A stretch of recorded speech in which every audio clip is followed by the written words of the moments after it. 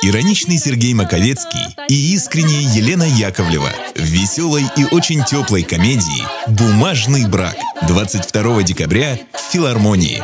Справки по телефону 247 73 73.